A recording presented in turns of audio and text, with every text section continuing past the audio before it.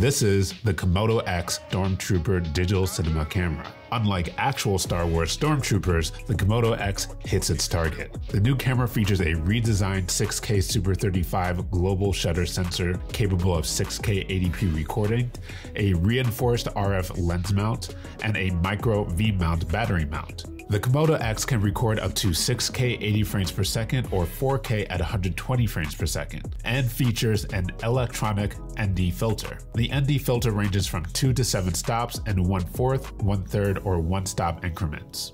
As expected, we were able to capture some beautiful footage thanks to Red's exposure latitude and flexibility of their R3D post-production workflow. Red has clearly listened to feedback regarding their original Komodo camera and implemented what they've learned into the new Komodo X. What are your thoughts on the Red Komodo X limited edition cinema camera? Let us know in the comments below. I'm Jabari with B&H. Have an awesome day.